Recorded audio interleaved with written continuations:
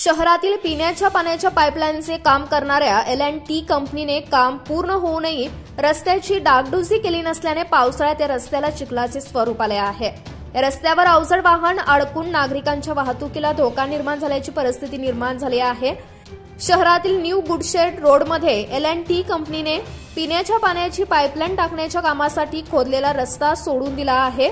त्यामुळे रस्त्यावरून ये जा करणाऱ्या वाहन चालकांना जीव मुठीत धरून वाहन चालवण्याची परिस्थिती निर्माण झाली आहे. जनता एल अँड टी कंपनीला शिवीगाळ देत असल्याचे समोर आले आहे. हा.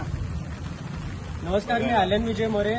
या ठिकाणी गुडशेड रोडला तुम्ही बघत असाल की एल एन वाले काम काढले आहेत आणि इकडं त्यांचे ट्रक अडकले आहे.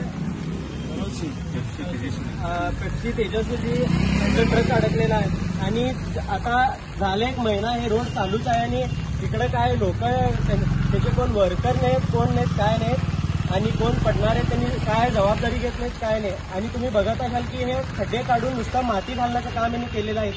दुसरं काय कामच केलेलं आहे तर मी प्रशासनाला हेच विनंती करतो की प्लीज तुम्ही लवकरात लवकर हे पूर्ण रोड पहिल्यासारखं करा जे चांगलं होतं.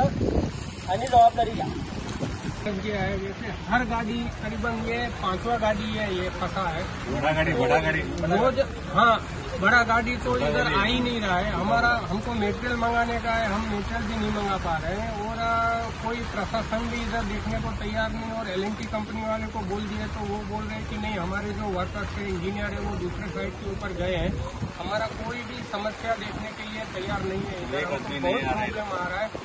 कोई भी आदमी देखने के लिए भी नहीं आ रहा है अभी वो ब्रिज के पास भी, उधर भी वो खड्डा खोद के निकाल के रखे। करीबन एक महीना हो गया, उधर से भी गाड़ी नहीं आता, इधर से भी कोई आता नहीं। काफ़ी हमारे को मतलब प्रॉब्लम का फेस करना पड़ता है।